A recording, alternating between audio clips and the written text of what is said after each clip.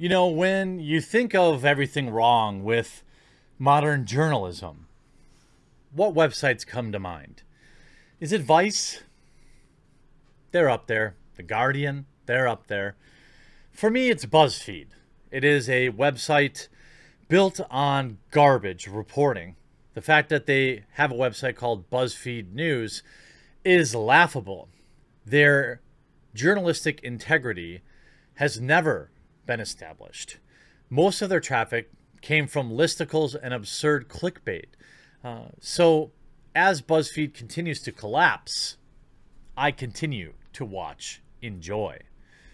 Now, just not that long ago, BuzzFeed, this was back in January.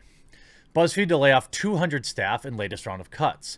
Online publisher announces job losses shore up finances as Verizon unveils plan to sack 800 workers. BuzzFeed announced plans to lay off hundreds of staff as digital media firms struggle to turn a profit while dealing with the same financial issues that have plagued traditional publishers for years. Jonah Peretti, BuzzFeed's founder, said about 200 staff will be leaving, while separate announcement by Verizon Media Group, the owner of HuffPo, Yahoo, and AOL, said it would sack 800 employees. The cuts will affect BuzzFeed News' operations, which have largely been insulated from previous rounds of redundancies. Earlier this week, the site published a huge report claiming that President Trump ordered his personal lawyer, Michael Cohen, to lie to Congress, which of course was baloney sausage 2, hashtag great reporting BuzzFeed. It's unclear whether BuzzFeed cuts will affect the UK arm, oh, but hold on, of the company, which was founded in 2013 and laid off a third of its editorial staff last year. The UK editor in chief, Janine Gibson, left the company at the end of last week. Peretti told BuzzFeed staff in an email that revenue was growing, but now needed to cut costs to secure its financial future. But with the aim of never having to raise outside funding again, BuzzFeed has raised hundreds of millions of dollars from investors over the past decade without with the most recent investment valuing $1.6 billion. Who keeps investing in these failing companies, by the way? I mean, who would buy it's like who's buying newspapers since then the market has cooled off on media investments with some financial backers of the new media companies concerned by the fire sales of sites such as mashable and Mic. vice has also announced plans to reduce its workforce with many new media sites also hit by changes to facebook's algorithm quote these changes will allow us to be a clear winner in the market as the economics of digital media continue to improve said Peretti, announcing the 15% reduction in staff levels. He promised to tell his staff whether they would be affected by Monday and said uh, the company had been working to diversify its revenue away from online advertising. Right. Well, they also do interstitial ads where they sell plates and, and dishware um, that you didn't know they were selling you. He also says, on a personal note, I've never thought about my job as just business. I care about the people at BuzzFeed. Well, it's good because uh, three months later, guess what? BuzzFeed pulls plug on UK and Australian news operations. Cue the crabs! Either version, the dancing ones or the pubic ones, I suppose. Now, I don't like to celebrate people losing their jobs, and I hope each and every one of these employees will be able to gain uh, employment at their local McDonald's, or if you're in Australia, Maccas. Um, I'm sure that they're hiring. I'm sure that Amazon is hiring delivery drivers. I'm sure they're bounced back. Uh, BuzzFeed is the same company that uh, relentlessly printed um, hit pieces about friends of mine, like Mr. Dankula, uh, and uh, endlessly uh, went to deplatform and demonetized personal friends of mine. So I'm sorry, we're not always perfect but I don't feel bad for them. I mean, I just I'm just being honest. I'm celebrating this. I hope BuzzFeed in its entirety collapses, along with all of this legacy media crap. Send it all down the drain. BuzzFeed pulls plug in UK and Australian news operations. Website said it will focus on news that hits big in the US after advertising revenue dries up. Now, this is just four months, not even four months, three months later after they promised that that was it we're done doing cuts. We're cut once, we cut deep. We've got it all figured out. Everything's improving. Oopsie doopsie poopsie. Looks like we're closing two major locations. BuzzFeed is to end its news operations in the UK and Australia effective effectively marking the end of the digital upstart's global ambition to shake up traditional news media. Once derided for its focus on traffic grabbing listicles, BuzzFeed transformed into a highly respected, peer to traditional media outlets. No, it didn't. On Wednesday, it said that it was giving up on local news and politics coverage in favor of news that hits big. You're giving up on politics and and local well local news I understand. But you're giving up on politics. Hmm, who else has decided to give up on politics? Remember when Polygon and Kotaku and the people at Deadspin were all up in arms I wonder if covering politics isn't profitable.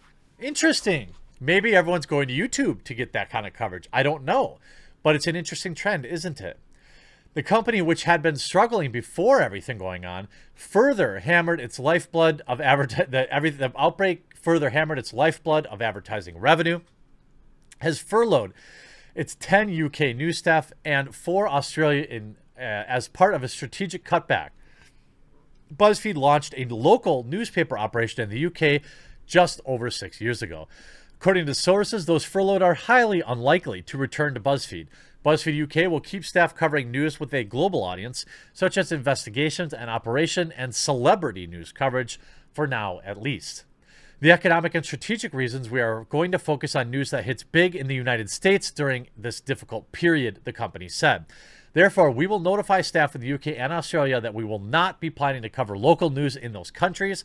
We will be consulting with employees on our plans regarding furloughs and stand downs in those regions.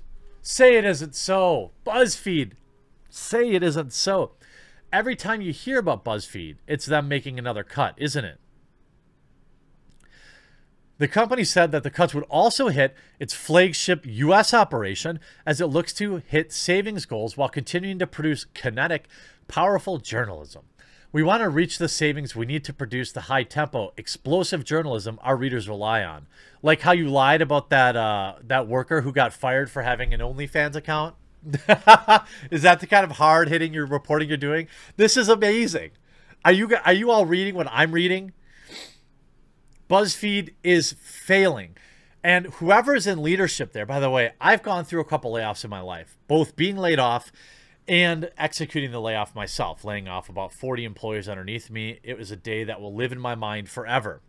It was the number one reason I started my own agency and swore to myself I would never lay off anyone again. Um, whew, the faces. Um, and having it be on the receiving end wasn't great either. Uh, whoever is in leadership at BuzzFeed isn't making the right decisions. Um, the leader, my boss at that company, when we did the layoffs, taught me a lot about it. And I was 25 years old, laying off. Literally every person old, was older than me that I was laying off. And you cut once and you cut deep because it is awfully brutal for morale to work in a company where you're just constantly having layoffs like every two months. That's exactly what is happening at BuzzFeed. Whoever is in charge there has zero foresight and isn't making the tough decisions. Cut once, cut deep, so you don't have to continue to do this. Although I appreciate it because I get to cover it every time, but nonetheless, BuzzFeed has maintained that it will still invest heavily in its news operation with a projection of investing $10 million more this year than the division makes and 6 million in 2021. So you're going to invest 10 million more than it makes plus 6 million more than it makes. And you're wondering why you have to constantly be laying people off. If only somebody could figure this out. Now, of course, it's okay to invest, but maybe you should invest 2 to 3 million and uh, keep the staff, you know, keep your infrastructure because after all, content is why people actually show up. Content is why uh, uh, people, I don't know, go to your website. I go to laugh, but I don't know if, if that's what other people do. Now, the unprecedented advertising slump brought on by the COOF has hastened the end of an already struggling business model. In January, Peretti posted a 2,500 word blog laying out plans to diversify the ailing business's revenue streams. Days later, it was reported that he had upgraded his Los Angeles home, buying a $5.2 million property. Shocking, I'm sure. He had previously publicly raised the prospect of merging with other digital publishers in order to gain the scale to fight on more equal terms with the likes of Facebook and Google, which dominate the digital advertising market. Less than a year later, three of the companies Peretti referred to as potential partners have done deals, had done deals. Vice, which is a more male-focused audience, acquired by Refinery 29, which targets millennial females to target $4 billion publishing group.